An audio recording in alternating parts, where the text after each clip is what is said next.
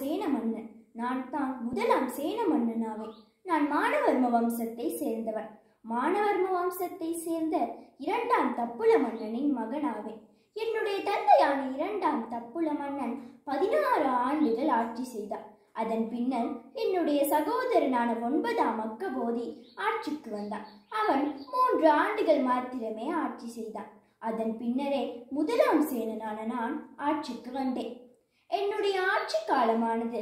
கிறிஸ்துவுக்கு பின் எண்ணூற்றி முப்பத்தி மூன்று தொடக்கம் எண்ணூற்று ஐம்பத்தி மூன்று வரை ஆகும். நான் இருபது ஆண்டுகள் ஆட்சி செய்தேன். நான் ஆட்சி செய்த காலகட்டத்தில் இலங்கை பாண்டியர்களால் ஆக்கிரமிக்கப்பட்டு காணப்பட்டது. அந்நேரம் பாண்டிய அரசனான ஸ்ரீமார ஸ்ரீ பல்லவன் மாபெரும் படையுடன் இலங்கை நோக்கி போர் தொடுத்து வந்தான். அந்நேரம் நடைபெற்ற போரில் என் படை தோல்வியுற்று என்னுடைய சகோதரனான மகிந்தனும் இளவரசனான காசியப்பனும் உயிரிழந்தனர் அதனால் நான் என்னுடைய பாதுகாப்பு கருதி மலையரட்டைக்கு தப்பியோடினேன்.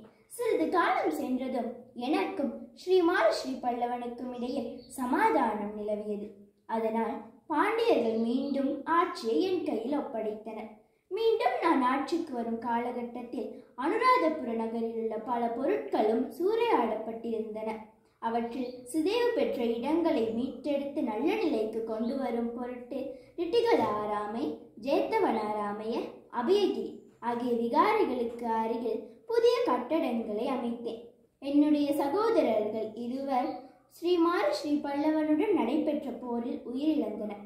அதனால் என்னுடைய மற்றொரு சகோதரனான உதயனை இளவரசனாக நியமித்தேன். அவன் குறுகிய காலத்திலேயே நோயுற்று இறந்ததால் ஸ்ரீமார ஸ்ரீ பல்லவனுடன் நடந்த போரில் உயிரை துறந்த இளவரசன் காசியப்பனின் மகனான இரண்டாம் சேனனை யுவராஜாவாக நியமித்து உருகுடை பிரதேசத்தின் ஆட்சியை அவன் கையில் ஒப்படைத்தேன். நன்றி.